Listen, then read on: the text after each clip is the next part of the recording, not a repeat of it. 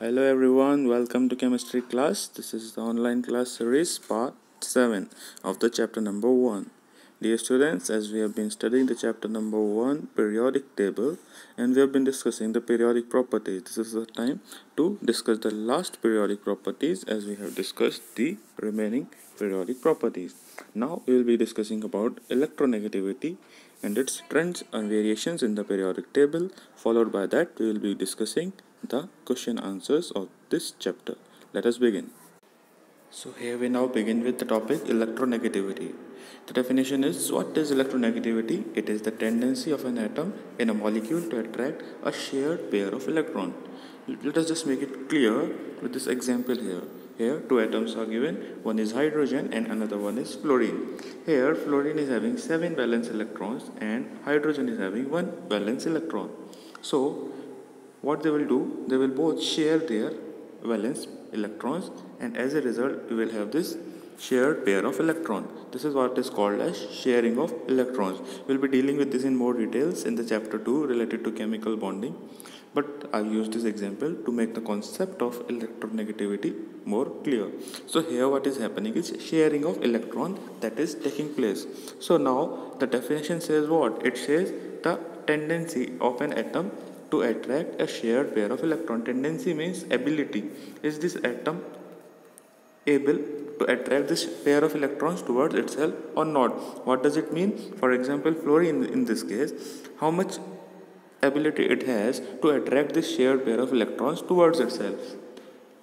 Hydrogen and fluorine. Now the shared pair of electron will lie somewhere in between. But this pair will be shifted either in left side or in the right side one or the one or, one or the other side it will move or shift itself. It will depend on the electronegativity. If fluorine is more electronegative then it will shift little bit towards fluorine. Both the electron will shift. They will not fully take part or become a part of the fluorine atom. Just they will shift little bit towards the fluorine atom. Otherwise they will shift towards the hydrogen atom. So exactly what is happening? Fluorine here is more electronegative comparing to hydrogen. As a result, what happens here is that fluorine will attract the shared pair of electron. The electrons will be more closer to the fluorine atom. The hydrogen nucleus will be far away from this shared pair of electrons. So that is what is called as ability of the atom to attract the shared pair of electron. You should not confuse this with electron affinity. In case of electron affinity, it is the it is the amount of energy that is required to gain electron. Here there is no gain of electron. Electrons are not gained. Only the electrons are attracted towards a particular atom. Just they are shifting a little bit. They are not gained by another atom. Here fluorine is not gaining this electron in its own orbit. Just it is a shift in the position of the shared pair of electron only. And here it is not related to the amount of energy. It is just the tendency only. It is just the ability of the atom. That is why here the point is given it indicates only the tendency of the element to attract the electron pair.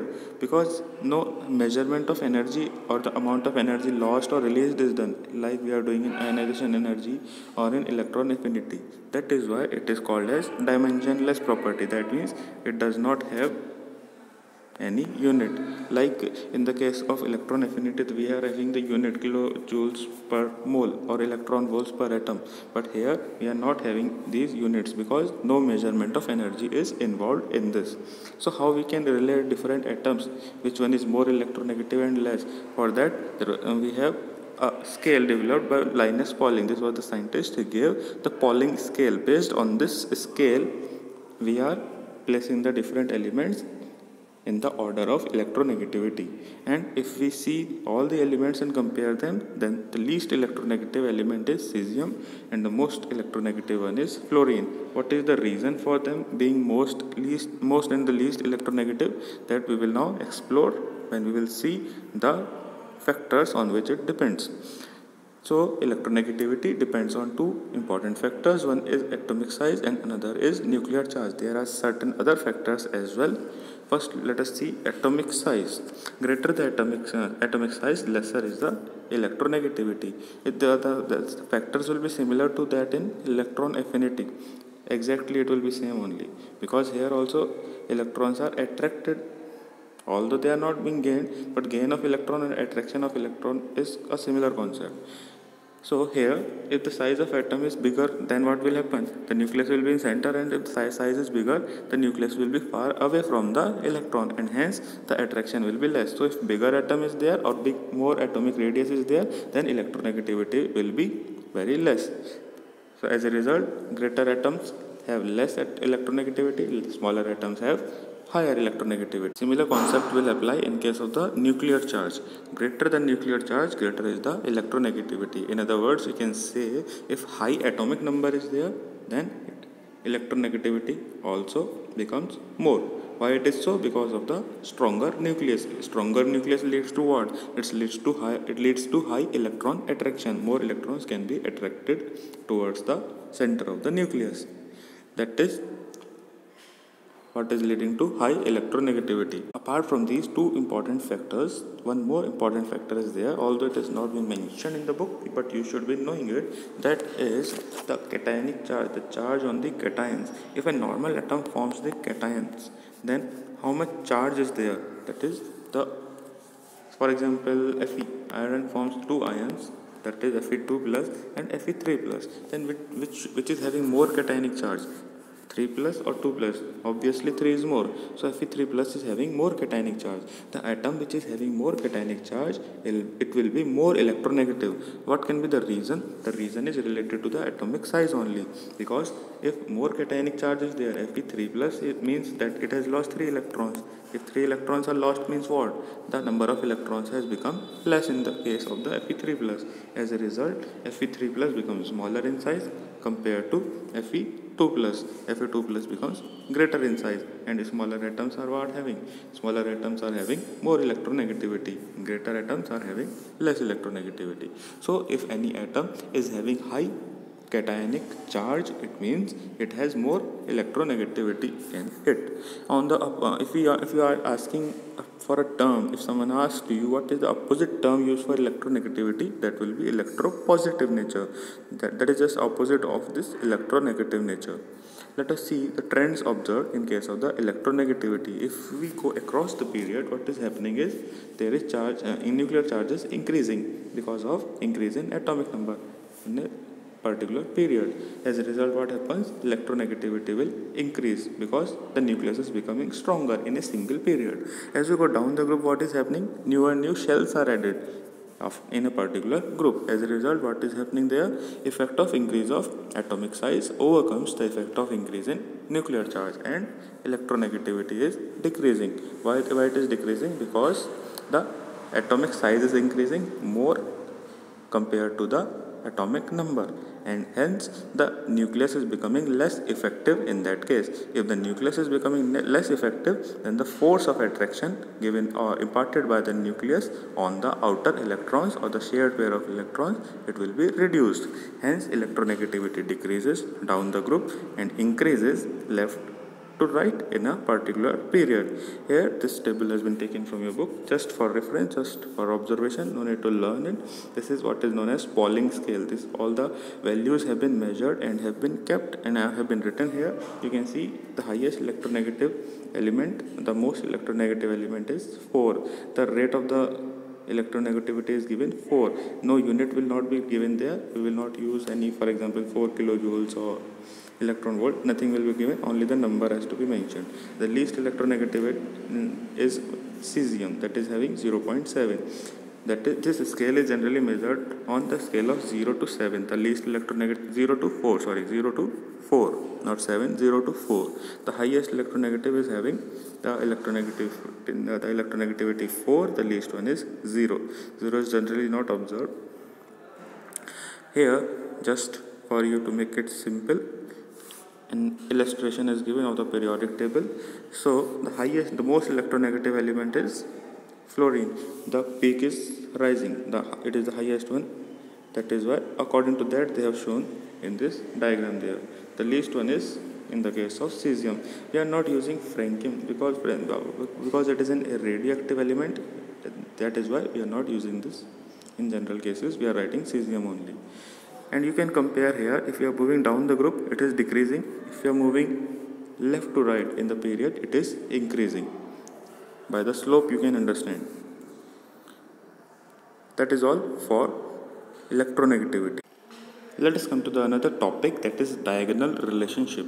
In the periodic properties or the variation of the periodic properties you might have observed a trend that if one property or one trend is showing increasing trend across the uh, across the period then it will decrease across the group and vice versa. For example, in the case of electronegativity, just now we have seen that electronegativity is decreasing down the group and increasing across the period. So one side it is decreasing, other side it will increase. This opposite trends are generally observed between periods and the group. Because of this, what is happening there that the elements which are belonging to the second period, the elements of the second period will show similar properties with the element of the next group and period number 3 second group uh, sorry second period element will have similar property with that of the next group element of third period.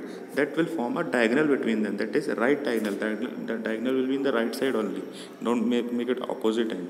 So that will be towards the right side only. As a result a diagonal relationship is established between these elements between lithium and magnesium. Both will show similar physical properties. Similarly beryllium and aluminium. You can see here and also beryl uh, also boron and silicon. These are all elements because they are showing diagonal relationship. They are called as bridge elements. Diagonal relationship is shown by the bridge elements. Why it is being shown? The reason is what?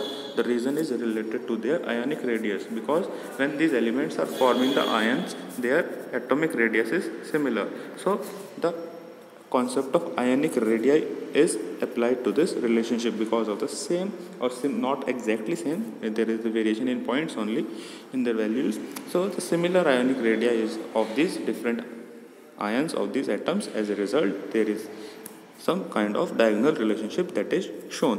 You don't have to go into deeper details that you will be reading or learning in more details in class 11.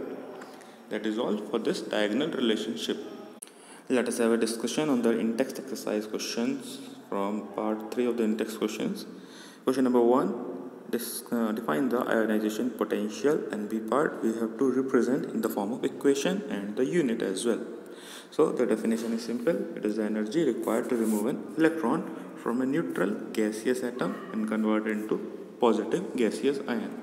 The equation is given in the textbook also. M plus IE gives M positive ion. M means any element. It can be any metal or non-metal. It is measured in watt units in electron volts per atom and the SI unit is kilojoules per now we have the question 2 ionization potential depends on two things we have to explain this first atomic size the reasons are given and the nuclear charge that is simple if the greater atomic size is there what will happen force of attraction will reduced and outermost electrons will be away from the nucleus. Hence, less energy will be required and ionization energy is less. Regarding the nuclear charge, greater the nuclear charge, more will be the attraction on the outermost electrons and hence, hence those outermost electrons will be more firmly, means tightly held because of which more energy will be required to remove them. That is how these two factors are affecting the ionization energy. Question number 3 states the trends in the ionization energy. We have to tell the variation. So, uh, first one is across the period they are asking. So, ionization energy increases left to right across the period. Why it is so? Because the atomic size is decreasing and the outermost electrons are coming close to the nucleus. That is why more energy will be required as the atomic size is reduced as you go left to right in the particular period. Second one, ionization energy decreases down the group. Why, why it is so? Because down the group, atomic size is increasing. Atom is becoming bigger and bigger and bigger and the outermost electrons are going far away from the center of the atom. Next one, question 4, name the elements with highest and lowest ionization energy in the first three periods. Remember here they are not asking full periodic table, only the first three periods. So uh, having a look on the first three periods, you can find out the answer is helium is having high, highest ionization energy because it is on the extreme right of the periodic table in the first three periods. And similarly in the first three periods, the bottom one, the element on the most bottom is sodium only. Next one, question number five. We have to arrange these elements. You can note down this from the uh, answer air itself. You have to know, write the order of ionization energy in the second and the third period. So left to right what is happening? The ionization energy is increasing. Hence you can write these elements in the increasing order of as they are simply placed in their second and the third period. Their normal position only has been put up here. Next one now question number 6 that is define electron affinity state its unit. The definition you can note down word by word that is in the book textbook itself. What is the unit? Uh, here the unit i have not mentioned. It is electron volts per atom. And the SI unit is kilojoules. The K you have to make small J capital kilojoules per mole that is the SI unit. Next B part we have to arrange again we have to arrange this in the increasing order of electron affinity. And we have to also name the element which do not follow the trend. You see in the second period and the uh, in the second period what is there? These particular elements will not show the trend. They will not they will there are certain exceptions actually. They will not follow the trend. So these are the ones which do not follow the regular order of electron affinity they are exceptions. The question number 7 here is electron that is a fill up only electron affinity. So across the period what is happening? Electron affinity is increasing and down the group it is decreasing. The question 8 now electronegativity and the unit. The electronegativity definition is tendency of an atom that is ability of an atom to attract shared. There shared pair you have to carefully note down this should be there and the tendency of atom should be mentioned in the definition. How what is the unit now? Here it is it is a dimensionless dimensionless property. It is that is why it has no units. Question number 8 b part now. now here options are given. We have to tell the least electronegative element. So the least electronegative out of this which one should be there? That is lithium. Why it is lithium? Because it belongs to group number first and the remaining ones are in the later groups. If i ask the most electronegative out of these four then which one should it be? It should be fluorine because it belongs to halogen. That is group number 17 as we move left to right in the periodic table electronegativity is increasing and group 17 is on the extreme right of the periodic table. Hence fluorine is the most electronegative out of these four options that are given here. The question number 8c there also they have asked the most electronegative out of the given options. Magne you can see in the question in the book magnesium chlorine aluminum and sulfur. So this is the previous year question. I hope by the concepts uh, that have been explained you would be able to solve it. You can uh, you can type the answer in the comment section. I want to see how many know the answer. Question number 9 explain the following. Here some situations some um, concepts are given and we have to tell the reason why it is happening. So first group 17 a part group 17 elements are strong non-metals whereas group first elements are metals. So why the halogens are non-metals and the group 1 is metal. Why it is so? Because the answer is given as we move across the period left to right what is happening? The nuclear pull is increasing. Because of the atomic charge is increasing nucleus becomes stronger and hence what happens? The atom shrinks. The atom size reduces because of stronger nucleus. As a result what will happen? Because of that uh, less electron less atomic size electrons cannot lose easily. Hence they are non-metals. Group 17 are non-metals. Non-metals are which elements are non-metals? The elements which cannot lose electrons are generally non-metals. On the contrary we can also say the elements which can easily gain electrons are non-metals. So that is why group 17 elements being as they are having smaller atomic size they are generally non-metals. On the opposite what is written there? The group first element can easily lose electrons because they can easily lose electrons they are strong metals.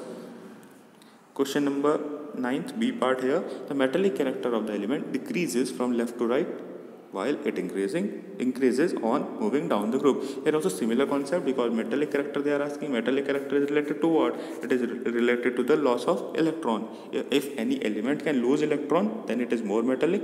If it if any element can lose uh, can gain electrons easily then it is non-metallic so why it is happening the trend the same similar reason i have written as i have already explained in a part you can see the answer if you want to note down. The question number c part quickly we'll move now without making the video any longer.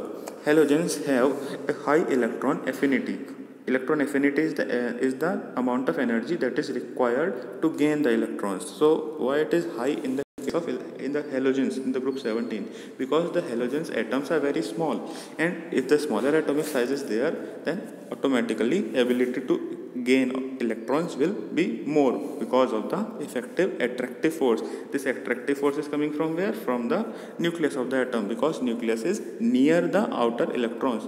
The electron which has to be gained. So that is why halogens having small atoms can have very high electron affinity. Question d part of the earth question. The question they have asked the reducing power of the element increases down the group while it decreases. In a period what is reducing power reducing power is related to the electrons only. In case of oxidation it is gain of electron. In case of reduction it is loss of electron. So here also it can be related to the ionization potential because ionization potential is what? It is the amount of energy released or sorry absorbed in the loss of electron. So that is why reducing property depends on the ionization potential and as the trend that is shown in the ionization energy same trend will be shown in the reducing property. If ionization potential of any atom is more then reducing property will also be more and vice versa. So you can see the answer here that is given in this. Then question number e part size of the atom progressively becomes smaller as we move from sodium to chlorine in the third period. In the single period they are asking, as we're moving rightwards in the third period from sodium to chlorine, atom is becoming smaller. Why is the atom becoming smaller? That is very simple question because the nuclear charge is increasing. Why the nuclear charge is increasing? Because the atomic number is increasing from left to right in the same period. As a result, what will happen? Because the strong nucleus is there, as a result, the outermost electrons will come closer to the nucleus and hence sodium which is on the left of the of the particular period it will have a larger atom and chlorine which is on the extreme right of the same period will become smaller because chlorine is having stronger or a bigger nucleus compared to sodium. Question number 10 now name the periodic property. Just the properties we have to write there. The definitions are only already given there. All definitions i have explained so you can note down the answer if needed. Question number 11 this is application based question. Again if you have understood the concept then only you can solve these questions else it may be difficult. And these kinds of questions can be found separately also not only from the book. We can give another questions based on the concepts that have been explained in the class.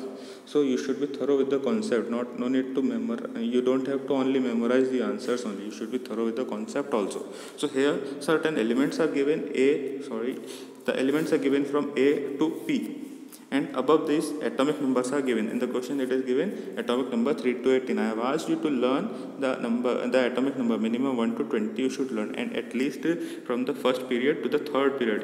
Yes students you have to learn all the atomic numbers from the first to the third period in the periodic table. Minimum this much should be there. Till third period only the questions will be asked in the board exam as well. So here as well this is related up to third period. And based on this we have to answer the following questions. So which of these are the most electronegative elements? Most electronegatives are where? They are on the extreme right of the periodic table. So which are the elements here in the extreme right? You can see here that is the element number 9 and element number 17. How I can come to know? This can be clear if we do the electronic configuration. 9 electronic atomic number 9 will be 2, 7 and in case of 17 atomic number it will be 287 so if the valence electrons are 7 that means what? That means they are halogens. That is obvious. That means G and O is representing what? It is representing halogens. So that will also solve over B part also. So smallest atomic size is of G and halogens are G and O. Clear? If it is not clear most electronegative element they are asking halogens are G and O. Out of G and O now electronegativity is high in halogens. Now we have to choose one which is the most electronegative. That is in A part they are asking most electronegative. So if we go down the group then what will happen? We have seen across the period that is G and O are having maximum electronegativity. But in the single period which is more electronegative if we go down the group this way then what will happen the electronegativity will decrease. As a result G is most electronegative. And the B part they are asking which one is halogen. So both G as well as O belong to halogen group. C part they have asked about alkali metals. Alkali metal are group 1 elements. So group 1 is the first one only. So that will be A and I.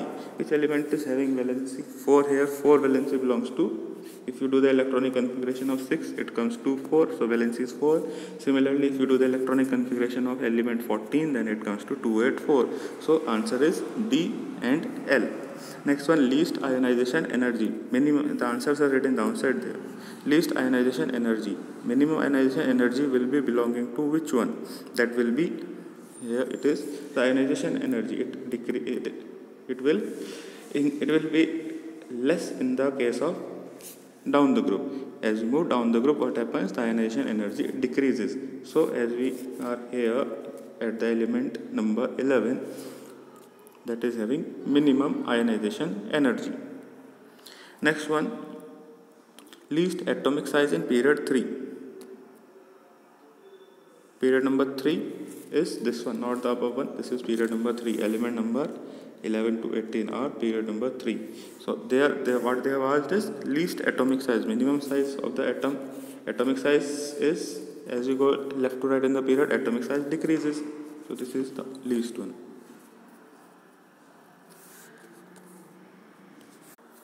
Here all the answers are given. A part to f part the last one. O is having the least atomic size. The last question number it should be 12 i have written the wrong it is answer number 12 a group of element in the periodic table are given below. Here we have been given the elements from a particular group. This is group of boron family. So now we have to answer the following question based on this group only. Which element is the most metallic? The metallic character as we go down the group is increasing. As a result what will happen? If we place this element first one is boron followed by and in the last one it will be thallium. So the last one is most metallic.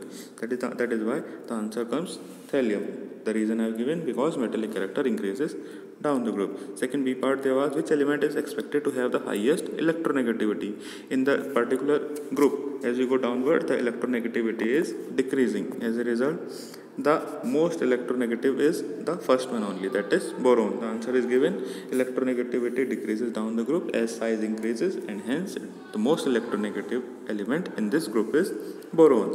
Next one c part. If the electronegativity uh, sorry electronic configuration of aluminium is given here. Then how many electrons are there in the outer shell of thallium if al aluminium is having how many valence electron? You see the last one is 3 written there. That is why it is having 3 valence electron. And in the same group all these elements are in the same group. That means thallium will also have same number of valence electron. In the same group number of valence electron does not change. That in the earlier classes we have seen. So the answer is 3 electrons the number of electrons in the valence shell is same from, for each group because all these elements belong to same group. They will have same number of valence electron. Question d part the atomic number of boron is given. 5 we have to write the chemical formula when it reacts with chlorine. So if boron reacts with chlorine then what will happen? Boron is having atomic number 5 that they have given. So if we write the electronic configuration of boron then it will come to be 2 and 3 by this configuration we can say that the valency of boron is 3 so let us write the valency of boron here and the valency of chlorine we already know that is 1 now we can transpose this and what answer will come? B into 1 that will give us b and cl into 3 that will give us cl3 so answer is cl3 b cl3 here the answer is given b cl3 next one the last question. Will the elements in the group to the right of the boron group be more metallic or the less metallic or less metallic in character? So the, what they are asking after the boron family the next one is carbon family.